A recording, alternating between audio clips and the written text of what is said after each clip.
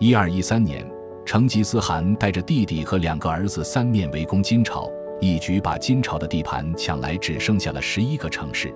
金朝被迫同蒙古签订合约停战。二十一年后，成吉思汗的孙子忽必烈上位，干脆一不做二不休，把金朝最后十一个城市一锅端了。原本属于金朝的海兰泡、庙街和伯利，成为了蒙古的地盘。伯利一带经济相对发达一些，居住在库页岛北部的尼夫赫人就到这里来抢劫。一二六三年，蒙古把尼夫赫人胖揍一顿。尼夫赫人不想继续挨打，干脆就跟着蒙古混，有事找大哥。尼夫赫人跟着蒙古混后，他们的老大就对忽必烈说：“库页岛南方的阿伊努人总是来抢劫我们，还杀了我们好多人。你去帮我教训教训他们。”作为带头大哥，忽必烈自然不能推辞，揽下了这个活。但是他做梦也没想到，这阿伊努人还真抗打，耗时四十四年才拿下。库页岛上的原住民尼夫赫人大约在六七千年前就生活在这里，这是一个地地道道的食肉民族。无论是抓回来的龟寻鲸和海豹等，还是家养的狗子，要么直接生食，要么风干冷冻后生吃。这样的生活习惯加上人种因素，尼夫赫人男男女女都骨骼粗壮，肌肉发达，而且因为脂肪都被严寒的气温消耗了，全身上下几乎没有脂肪，看起来十分精干。也是因为气候寒冷，因此毛发浓密。我国古代称他们为毛人，因为女人占比非常高，也被称为女人国。尼夫赫人勤劳勇敢，生活富饶，本来无忧无虑的日子，很快就被远在北海道的阿伊努人打破了。阿伊努人是北海道的原住民，在北海道与库页岛之间有一个宗谷海峡，一到冬季，宗谷海峡就会结一层厚厚的冰。人马狗什么的可以直接在上面奔跑，比阿伊努人晚一些时间出现在日本的大和民族，开始不断抢夺阿伊努人的地盘，生存空间越来越狭小的阿伊努人开始把眼光投向北海道北面。为了扩大生存空间，阿伊努人有一天越过宗谷海峡来到库页岛，他们发现这里的尼夫赫人日子过得太滋润了，羡慕得直流口水，同时。阿伊努人也发现尼夫赫人的总人数不多，而且还以女人为主，他们便开始抢夺尼夫赫人的地盘。尼夫赫人的人口太少了，且战且退，库页岛南部的大部分地区都被阿伊努人给抢去了。打到无法再向北推进的时候，阿伊努人就不打了。但是因为人口太多，总是隔三差五跑到尼夫赫人的地盘上抢劫。尼夫赫人被蒙古人胖揍一顿后。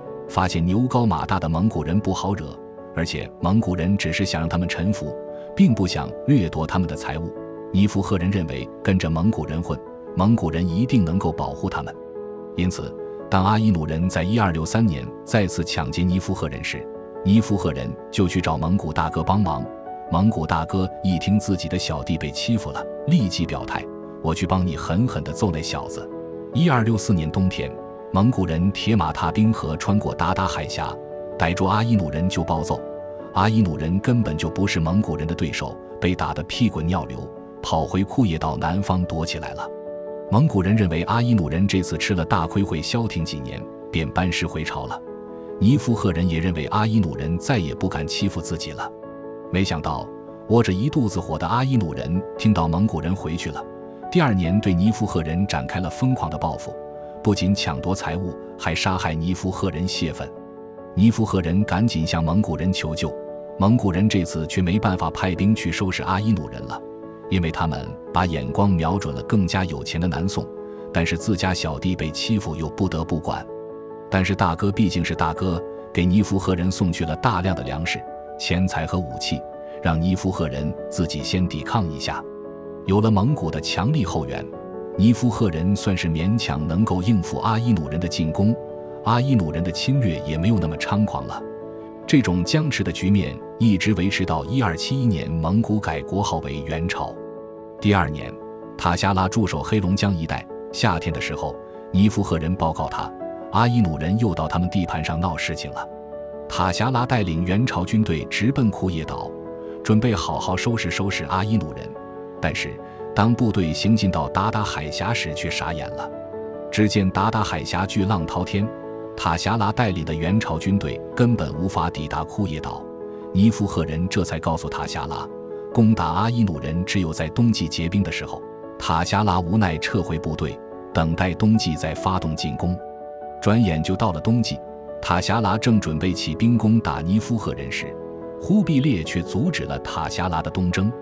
忽必烈告诉塔霞拉，现在刚刚收复南宋，国内还不是很稳定，他的军队应该留在国内维护内部的安定，而不是去攻打阿伊努人。忽必烈仍然采取之前的方式，保障尼夫赫人的军需物资供应。给更多的钱粮和武器，等国内缓过气来了，再收拾尼夫赫人。一二八二年，元朝的大局稳定了，计划腾出手来解决一些边境问题，决定对尼夫赫人痛下杀手。元朝不希望只是在冬季能够攻打阿伊努人，开始造船，以便将来在任何时候需要攻打尼夫赫人的时候，都能够立即兵临库页岛。一二八四年夏天。渡河的木船已经建造完毕，这种木船每艘每次能够运送十来名士兵，能够在短时间内快速地把数万将士从黑龙江转运到库页岛。见时机已经成熟，元朝派两员大将带领一万左右的士兵渡过达达海峡，兵分两路直抵库页岛南部。阿伊努人被突然来到的元朝将士惊呆了，不是只有在冬季达达海峡结冰才来吗？这大夏天的怎么就打过来了呢？阿伊努人本来人口也不多，想组织正面战是不可能的。再加上援军是突然袭击，那个惨状可想而知。逃的逃，躲的躲。虽然被打得满地找牙，但是阿依努人并不打算屈服。他们认为援军很快就会班师回朝，于是同援军打起了游击战。援军这次却是铁了心，不仅没有撤退，还在库页岛南方大建防御工事。同时，在对面的黑龙江下游垦荒种粮，大有一定要把阿依努人赶尽杀绝的意味。也许阿伊努人气数未尽，正当要被几乎全歼的时候，一二八七年，忽必烈的侄孙乃颜起兵反叛朝廷。忽必烈龙颜大怒，亲自带兵攻打乃颜。因为交战地点在萨尔都鲁，距离黑龙江的元朝驻军很近，这里的驻军就去支援忽必烈了。也就是在这期间，以前在元军中当兵的尼夫赫人竟然成了叛徒，他们投诚到了阿伊努人那边，而且把目前黑龙江的元军正在撒达尔都鲁打仗的事情告诉了阿依努人。这两位叛徒还煽动阿依努人，趁黑龙江元军驻地空虚的时候立即偷袭。阿依努人听信了这两位叛徒的话，决定攻打黑龙江。一二九七年。阿依努人的大军浩浩荡荡地开赴黑龙江，准备打驻扎在这里的援军一个措手不及。但是，当阿伊努人的部队行进到鸡兹湖一带时，彻底的懵了。援军已经在这里恭候多时了，正等着阿伊努人的部队自投罗网。原来，在阿伊努人部队中的一名尼夫赫人是效忠元朝的，他在得知自己的族人投靠阿伊努人后，就一直不动声色地观察他们的动静。当阿伊努人起兵前往黑龙江时，这位尼夫赫人就立即把消息通知了驻守在库页岛南部的援军，这里的援军又立即通知了驻守黑龙江的援军。元朝家大业大，驻军地再怎么空虚，也会留下不少的部队来维护。在得到消息的前提下，要收拾一小股阿伊努人部队，简直就是小菜一碟。而且，一二九七年就已经平定乃颜之乱了。去帮忽必烈的黑龙江援军早就回到驻地了，五年来一直没有到库页岛收拾阿伊努人，他们以为阿伊努人已经被镇住了，哪曾想，原来阿伊努人这几年之所以消停了，是在组织一次大规模的攻打黑龙江援军行动。阿伊努人确实抗打，而差点把全世界搞成地球村的蒙古人也不是吃素的，加上人数、兵器都比阿伊努人占优势。阿伊努人又中了伏击圈，不用开打就已经决定胜负了。阿伊努人在鸡子湖没有抵抗多久，就被援军打死打伤过半，剩下的残兵败将赶紧抱头鼠窜逃跑。他们逃回库页岛后，仍然死性不改。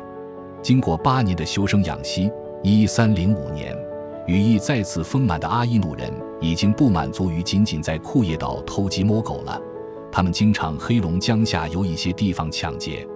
阿伊努人总是以十来人的小股力量袭击黑龙江援军或者当地的居民，抢夺到物品后就偷偷潜回库页岛南部。不过，一旦被援军抓住，阿伊努人肯定没有好果子吃。只有这些小股分散犯案的阿伊努人确实令援军头疼。正在援军一筹莫展的时候，却发生了一件怪事。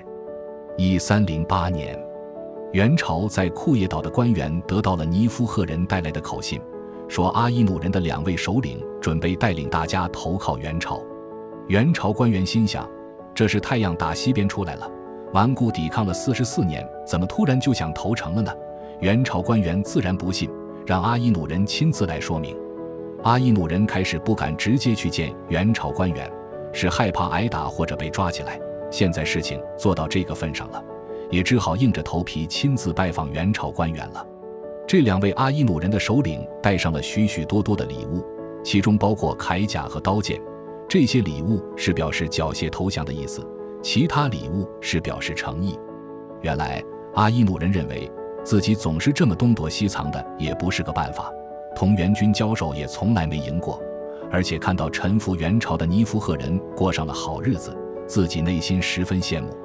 虽然说臣服了每年都得纳贡，作为富裕的元廷也瞧不上这些藩属国那点小礼物，往往回的礼更多。实际上是藩属国在占宗主国的便宜。库页岛的元朝官员把这两位阿伊努人首领引荐给了元廷。双方经过协商，阿伊努人所在的库页岛南部正式归顺元朝。如此一来，整个库页岛就再次完整的回到了中国怀抱。对于阿伊努人来说，这是一件大好事，从此可以安安稳稳的过日子了。但是北海道那边的阿伊努人却急眼了。以前被日本大和民族攻打的时候，北海道的阿伊努人可以逃到库页岛南部，先躲避一段时间。等事态平静下来后，再回到北海道。现在库页岛的阿伊努人属于元朝，北海道的阿伊努人属于日本，宗谷海峡就成了国界。一旦北海道的阿伊努人被日本大和民族攻打，他们就完全没有退路了。北海道的阿伊努人现在被逼到了死角，想攻打元朝是不可能的，一是根本就打不过，二是在道理上也讲不通。阿伊努人的原住地就是北海道，现在元朝没有把库页岛的阿伊努人赶回北海道已经不错了，是日本大和民族抢了他们的地盘。北海道的阿伊努人一不做二不休，直接就去攻打日本政府了，史称虾夷大乱。这里的虾夷是北海道的旧称。这北海道的阿伊努人还真能抗，同日本政府对抗了六百多年，直到今天，只有不到两万人的他们还在闹独立呢。元朝能够在短短的四十四年内让阿伊努人臣服，是真不容易呀。